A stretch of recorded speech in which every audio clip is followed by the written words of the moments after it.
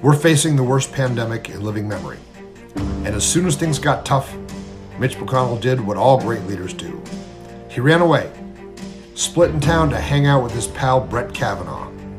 While he was having cocktails with Brett, I called on Mitch to pass an emergency universal basic income and to stop blocking the House from helping Kentuckians survive this pandemic. The Speaker and House Democrats instead chose to produce an ideological wish list. Then, on the morning of Tuesday, March 17th, our campaign released an ad giving him the nickname he deserves Corona Mitch. The ad took off. The Courier Journal called it blistering and the toughest ad of the 2020 cycle.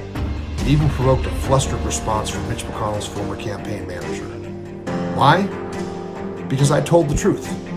We told the truth about Mitch McConnell choosing his own political power over protecting our people.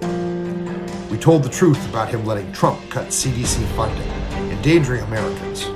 We told the truth about him delaying a bill that would save working people during this pandemic. Less than five hours later, Mitch McConnell scurried back into the Capitol and reversed his position.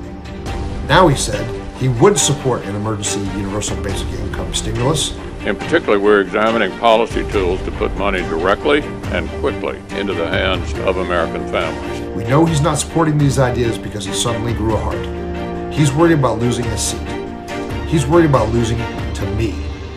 The fear of people losing their lives was not enough to get Mitch to do the right thing. Only the fear of losing his reelection, the fear that we instilled in him, got him to finally do the right thing by the American people. If Corona Mitch needs to be scared like this to finally do his job, then I'll keep him scared for the next eight months, and then we'll win.